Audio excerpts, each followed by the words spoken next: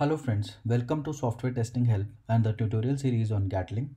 As part of this tutorial, we will walk through what are load profiles in Gatling and we'll also see some examples on assertions and checks in a Gatling simulation. So let's get started.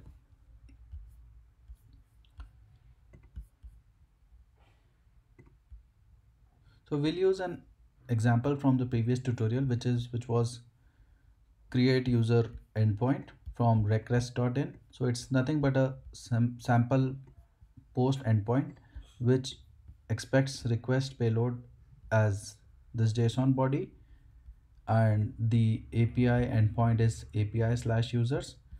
You can see this reqres.in website on web and simply pick up whatever endpoint you want to use. These are nothing but some fake data apis that are hosted on the web so we'll use that endpoint and every Gatling simulation had four basic components. First is defining the protocol, which has details like common headers and what are the base URLs and other stuff. Second is you define the actual request, like what type of request it is post and what are the request body. Third is you actually define the scenario or set up the scenario, which says that for a particular scenario what all requests will be executed. And finally you set up the load profile or the concurrent or virtual user setup which you want your load test to run into. So we'll cover assertions and checks in this tutorial as well as different load profiles. I'll just create packages for them. So for assertions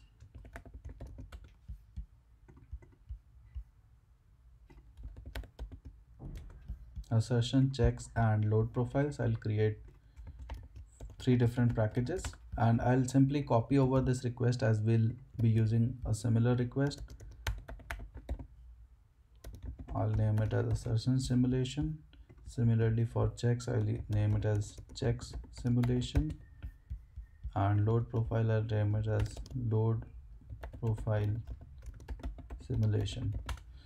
So let's get started. We'll first see assertions and checks and then we'll finally look at what load profile we can use and what are available as part of the Gatling provided library. So let's get started.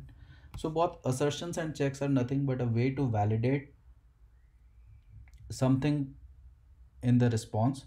So assertion can be as simple as to find out how much time did the response take or like overall say suppose we had a simulation that was running 100 requests and as a general assertion we need to say or we are required to validate that there should be no more than 5% failed requests. So those are the things where we can use assertions. And checks are basically used at a very specific request level. So suppose you have a post request which returns say http 201 as the status code. So that can be defined as a check at request level wherein after every request you are asserting that you actually got a 201 status code. So both are way to validate the response that was returned but they are different in in a certain way. So let's first get started with the assertions. We'll use the same request bob and painter is the payload and we are injecting five users so there will be total of five requests. And assertions will need or could be put up after the setup step.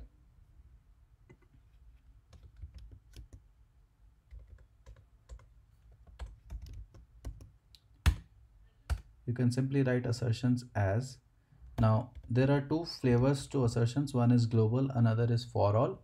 Global means it applies to the simulation entire simulation as whole. So suppose you want to check say the average response time is say less than 500 millisecond. So that will be a global assertion which takes into count the actual or total requests that were sent during the simulation. So i can say global dot response time mean is so there are different parameters lt less than less than equal between greater than greater than equal these are standard. So I'll say should be less than say 800 and this value is in millisecond. Yes. So we can say that this assertion will check for all the requests combined. The mean response time should be less than 800 millisecond similarly you can have assertions at each request level. For that instead of global you need to use for all. And say for all I can say response time dot max say suppose less than 1000 ms so now this will apply to a request level and this will apply to all the request level we could also add more assertions in the same block. Like if i want to add global dot failed requests i'll say percent should be less than say 10 percent. So what this means is only 10 percent of requests maximum are allowed to fail. So that's how we could write assertions. Let's try running this simulation and see where are the assertion reports getting generated and where you can look for them. So i'll simply use the gatling runner. And the simulation we want to execute is assertion simulation. So that is numbered as zero. I'll name it as test simulation. So now once it has executed we could simply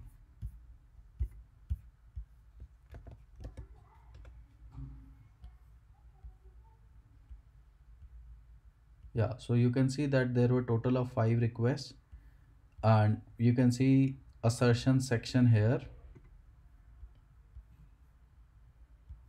So global assertions are listed here and you can see that one is in red which says mean of response time should be less than 800 millisecond but it is saying no because if you see mean it was 847 and which is not less than 800 that's why it is showing as red so these assertions are directly shown in the report and that's how you could validate this assertion. And finally the third assertion or it's basically per request level assertion which we use with for all. And this says that max of response time is less than 1000 and this is green or okay. But yeah this is how you can see the reports on assertions. Let's now see what is a check so check as we said that it applies to request level example whether the status code was like http 201 whether there was a header in the response a particular header in response and things like that. So it applies to per request level actually. And the most apt place to put a check is where you define the request. So here I can write checks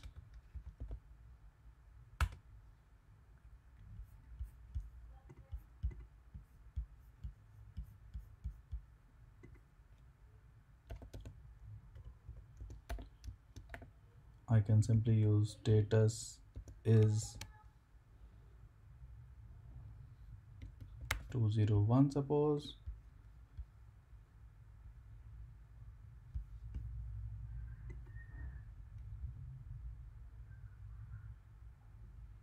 suppose I want to add more and more check I can say header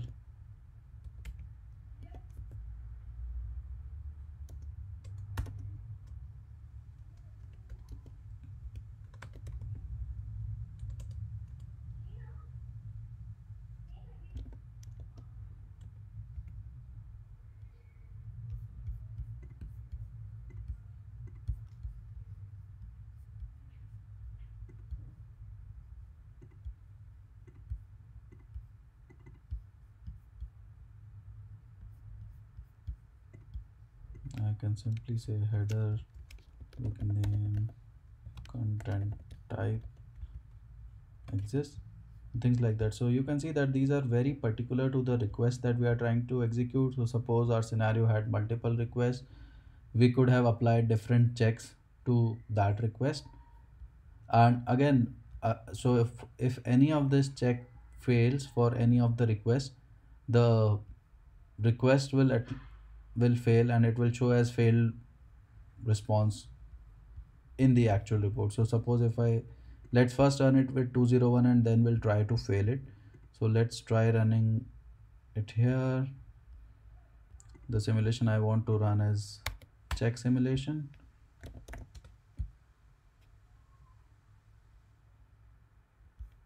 So let's try looking at report here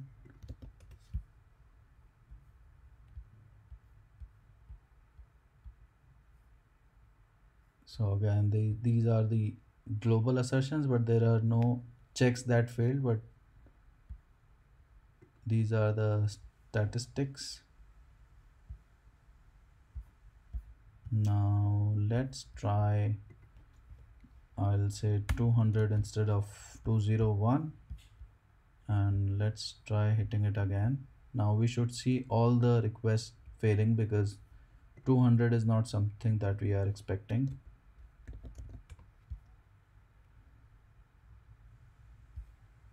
let's copy this location and go to the report. You can see that all of them are failing here. And what are the errors that were encountered? It says it's 200 but is actually 201 so all the checks failed and 100 percentage of our requests failed. So these are the kind of uh, validations assertions at the request level whereas the actual assertions that we added at the scenario level were like global and they were more related to a particular metric like response time or failed requests and things like that. So these were the examples on assertions and simulations. Now let's see an example on load profile.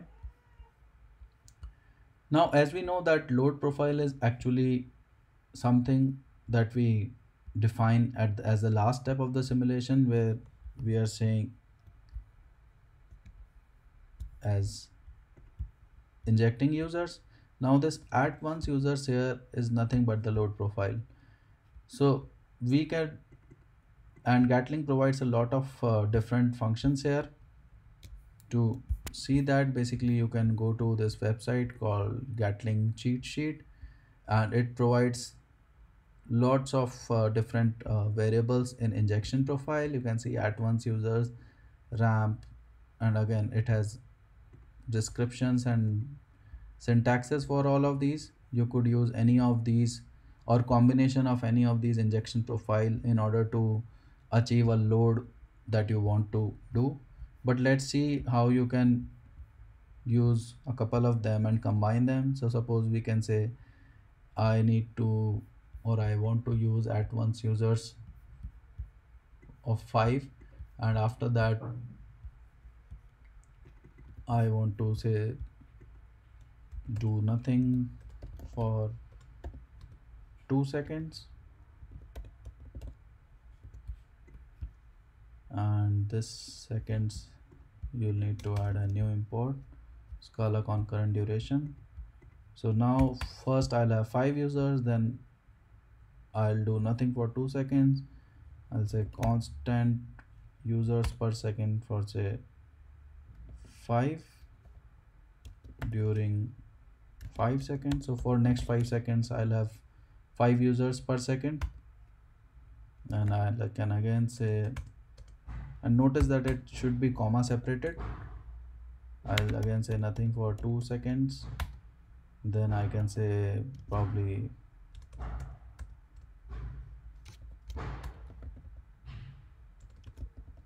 ramp users 3 during so 3 seconds and things like that. So as you can see that you can combine these different methods of functions available for injection profile and essentially achieve the kind of load profile that you are trying to build. Because when you actually write per for load test for any endpoint it's not that you will bombard it at the starting point. You could build the load slowly and gradually say 5 requests per second then 10 then 15 in steps and then probably you would want to cool down the system for say 10 seconds. So again it will depend on the kind of use case that you are trying to solve but you could combine these different methods available here and simply use them. Now let's probably let's try running this again. Load profile simulation is the one that we want to run so this is the fifth one if you can see here. So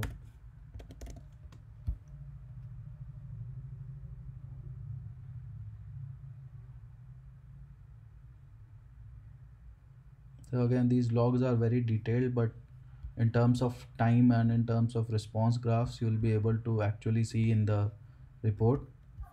We'll do a detailed tutorial on how to interpret these reports but for now you can see that what happened or what were the total you can see this this is the active users along the profile. Initially we had five then nothing for two seconds then constant for a next five seconds and things like that.